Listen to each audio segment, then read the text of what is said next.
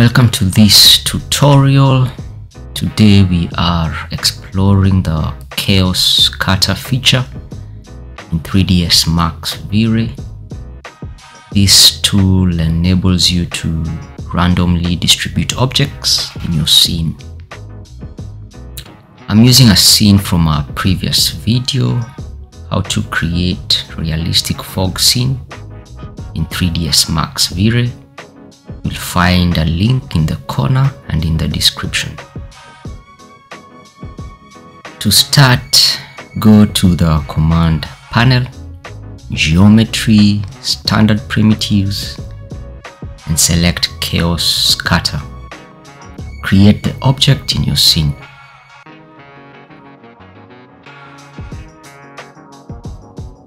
First, pick the surface where you want the plants to scatter.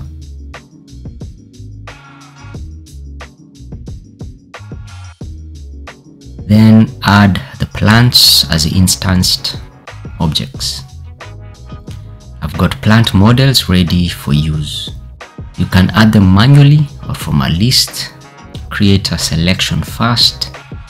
Type in the selection name and uh, press on enter.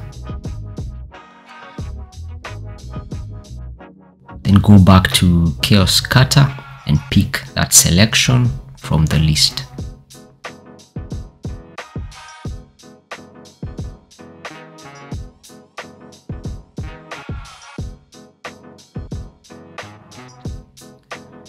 For some basic settings to make the plants look more natural, go to the transformation tab and set the normal versus Z value to 1.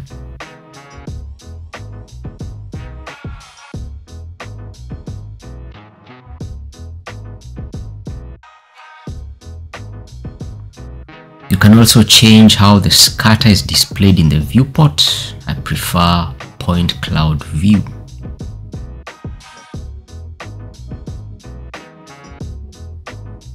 Begin interactive rendering.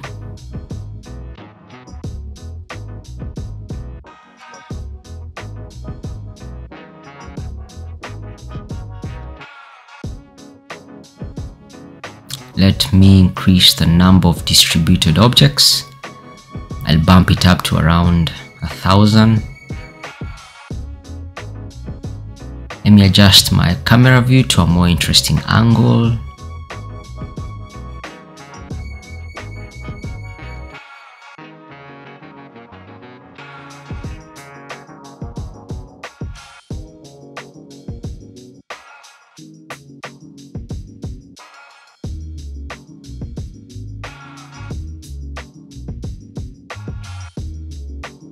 I've also reduced the number of distributed objects to 600.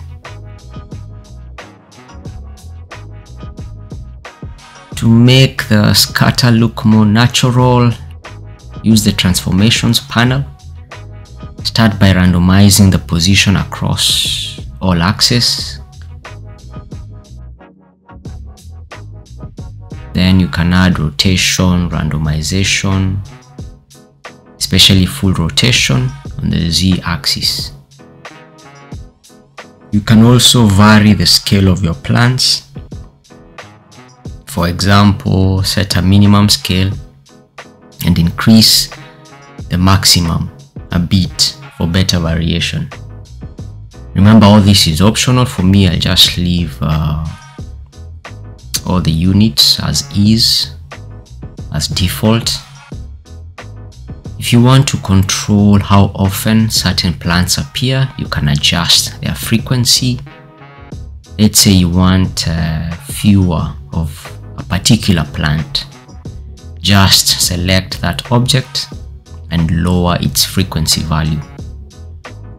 You can customize this per object depending on the look you're going for.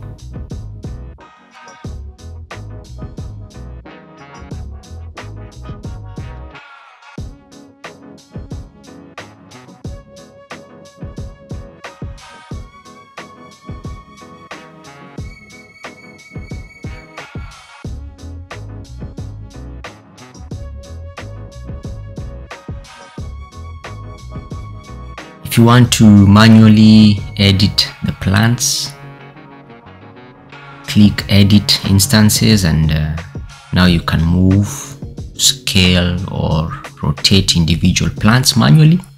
Let's uh, try it out and make a few small tweaks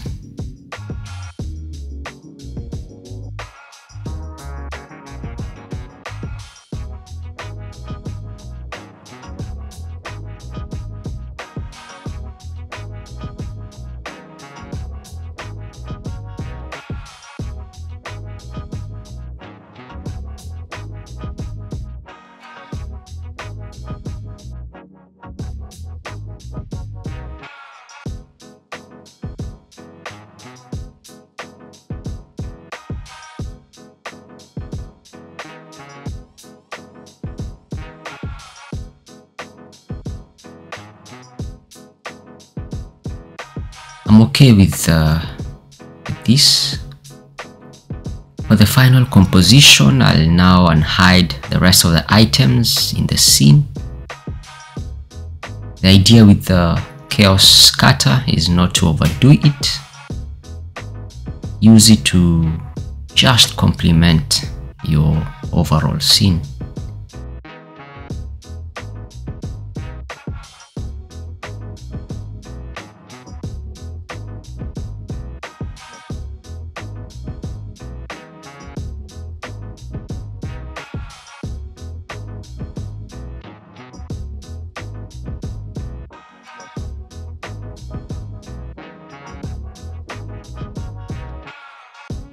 Thanks for watching this uh, video tutorial.